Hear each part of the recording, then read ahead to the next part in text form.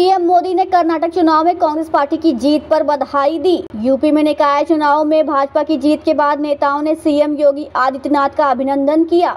कांग्रेस महासचिव प्रियंका गांधी वाड्रा ने कर्नाटक की जीत पर जनता को बधाई दी। जनता को बहुत बहुत दिल से बधाई देना चाहती हूँ।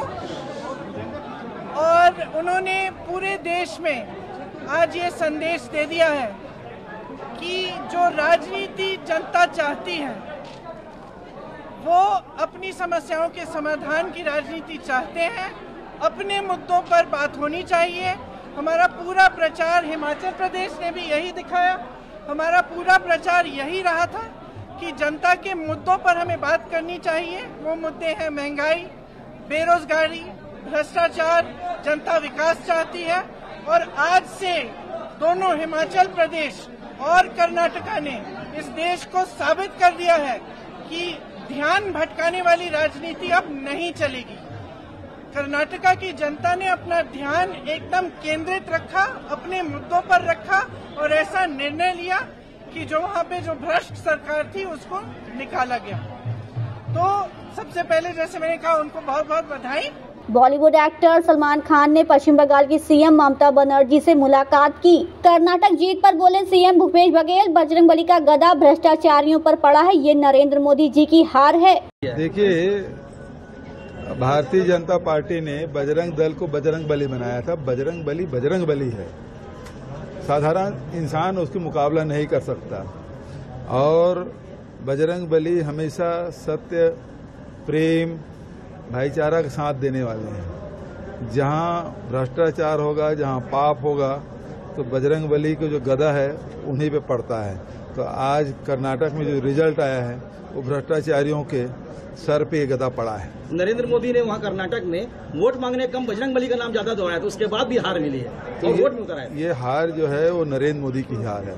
कर्नाटक में कांग्रेस की जीत पर बोली सीएम ममता बनर्जी छत्तीसगढ़ और एमपी के चुनाव आ रहे हैं और मुझे लगता है कि भाजपा दोनों चुनाव हार जाएगी। आई the people of Karnataka, all my voters, and I salute to the winners also for their victory. Even Kumar Swamiji also done well. Next Chhattisgarh and Madhya Pradesh election is also coming. I think both the state BJP will lose. Now it is the beginning of the end of 2024. Because if you see full India, from where they will get the vote?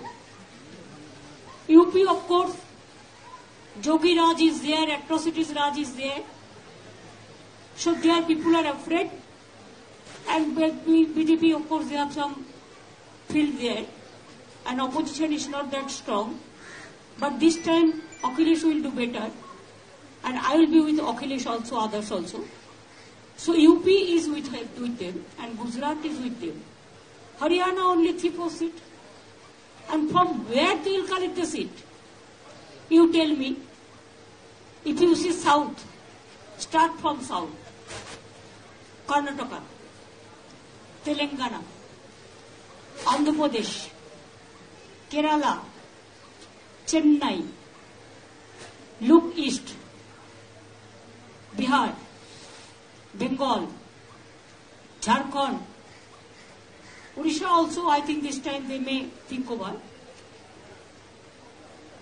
Then you go to Delhi, Mumbai,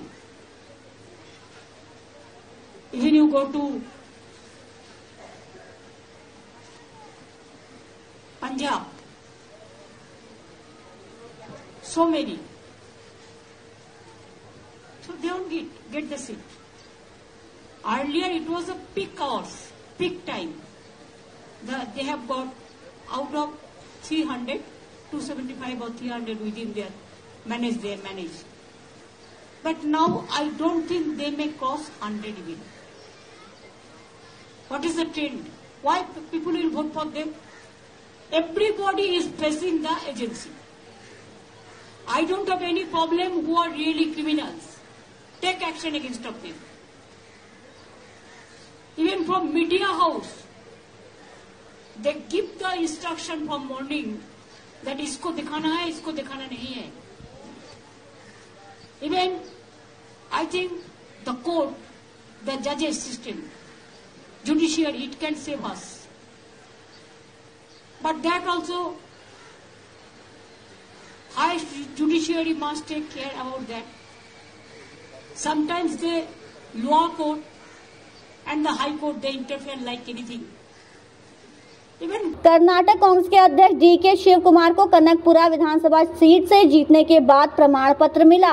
Mehbooba Mufti का बड़ा बयान, बोली कर्नाटक के लोगों ने BJP की नफरत की राजनीति को हराया। कर्नाटक में कांग्रेस की प्रचंड जीत पर कांग्रेस अध्यक्ष मल्लिकार्जुन खड़गे ने रणदीप सिंह सुरजेवाला का मुँह मीठा किया। कर्नाटक में बीजेपी की हार पर उमर अब्दुल्ला ने ट्वीट कर लिखा, अब बीजेपी जम्मू कश्मीर में जल्द विधानसभा चुनाव करने का साहस नहीं करेगी। देश विदेश की खबरों को देखने के लिए हमारे चैनल रोशनी न्यूज़ को सब्सक्राइब कीजिए और बेल आइकन दबाना ना भूलिएगा।